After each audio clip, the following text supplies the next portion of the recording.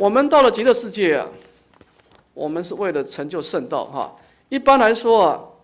你出地以后就可以回入娑婆了哈。那么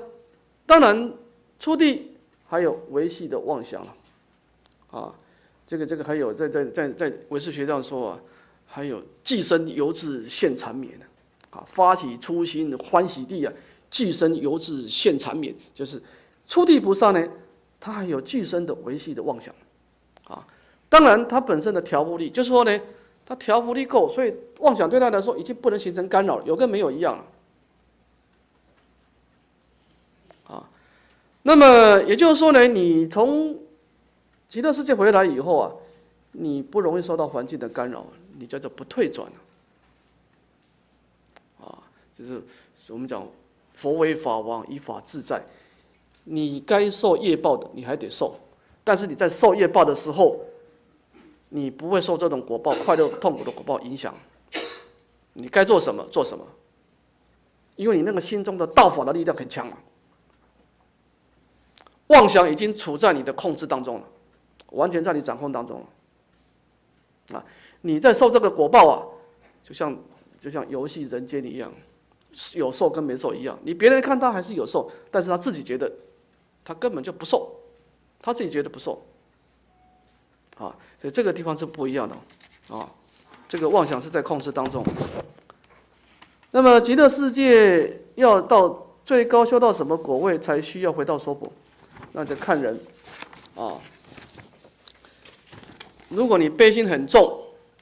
不忍众生苦，不厌圣教衰，我刚刚讲过，回入娑婆，出地就可以回来，啊，如果你不着急，啊。你可以修到等觉菩萨，啊，但是出地离开娑婆世界，在四十八愿说呢，你有些人离开娑婆极乐，离开离开极乐世界，他没有回入娑婆，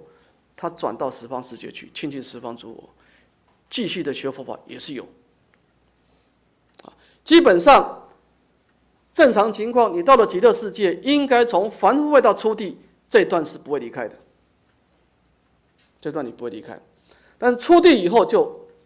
各奔前程了。有些人继续在极乐世界待着，有些都转到其他佛国去，到药师佛国，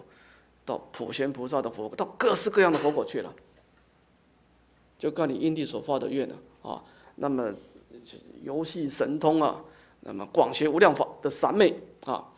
这是第一种啊。这种一般来说自真上比较理智型的，他会先充实自己。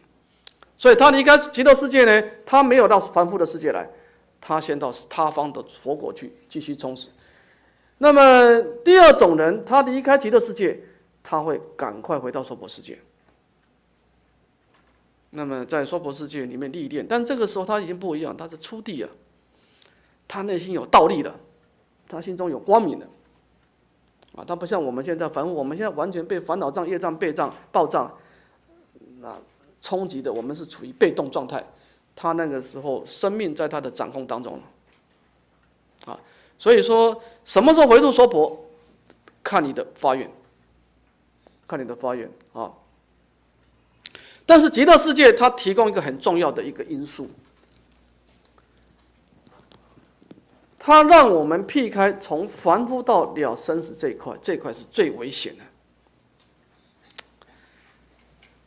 这一块是整个成佛之道里面凶险最多、障碍最大、刺激最大、最容易退转的时候。这一块就是从生死反复到了分段生死这一块，我们选择在极乐世界完成是正确的，因为你这段迈过去，你后面就海阔天空了。就像佛陀在经典上譬喻说：“啊说你这个船呢。”要离开陆地啊，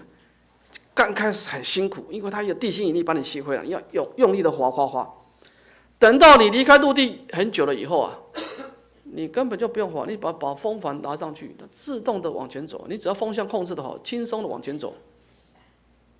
它不可能再退回来，因为它已经离开了吸引地心引力了。啊，我们感谢阿弥陀佛的慈悲，因为他让我们逃过了。生死凡夫到分段生死这一块，这一块的风，这个这一块的生死大海啊，风浪最大，鲨鱼最多啊，就是这一块，很多人过不去啊。这个这这段的分段生死的大海，这一段是凶险最严重的大海，所有的船到这里全部沉没。你这一块分段生死的黑海过去以后，后面的大海轻松愉快的，你要到哪里都可以了。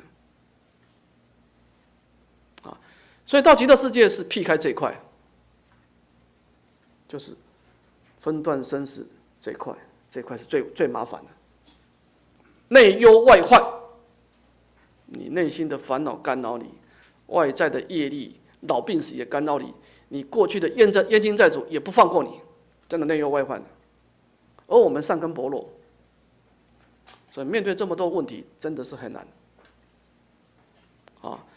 所以说往生极乐世界不一定是表示你你就一定要在极乐世界成佛，不一定。但是起码